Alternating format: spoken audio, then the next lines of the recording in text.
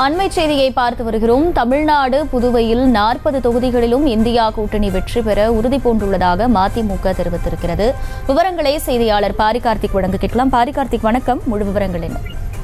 வணக்கம். மதிமுகவினுடைய நிர்வாகிகள் குழு அவசர கூட்டமானது இன்று மதிமுக தலைமை அலுவலகமாக இருக்கக்கூடிய தாயகத்தில் அக்கட்சியினுடைய பொதுச் செயலர் வைகோ அவர்கள் தலைமையில் தற்போது நடைபெற்று வருகிறது. இந்த கூட்டத்தில் மாநிலத்திலிருந்து பல்வேறு இடங்களினுடைய மதிமுக கட்சி நிர்வாகிகள் இந்த கூட்டத்தில் பங்கேற்று தங்கள் கருத்துக்களை தெரிவித்து வந்தார்கள்.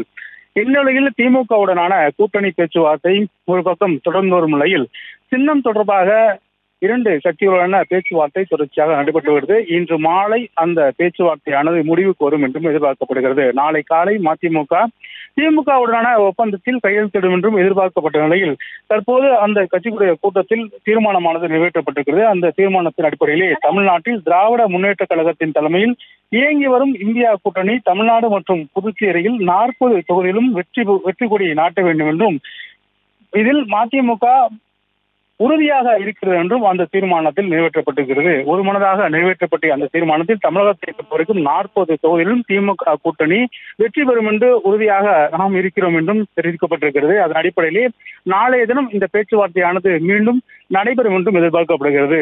இன்று மாலை அல்லது நாளை காலைக்குள்ளாக இந்த பேச்சுவார்த்தை முடிவடைந்து நாளை காலை மதிமுக சாரில் ஒப்பந்தம் கையெழுத்தாகும் என்றும் எதிர்பார்க்கப்பட்டது. இந்நிலையில்தான் இந்த கூட்டமானது தற்போது நடைபெற்று வந்தது. அதன் அடிப்படையிலே இந்தியா கூட்டணி தமிழகத்தில் நாற்பது தொகுதியிலும் வெற்றி பெறும் என்றும் அந்த தீர்மானத்தில் அவர்கள் வலுவாக குறிப்பிட்டிருக்கிறார்கள். செய்திகளை உடனுக்குடனும் துல்லியமாகவும் தெரிந்து கொள்ள சப்ஸ்கிரைப் பண்ணுங்க.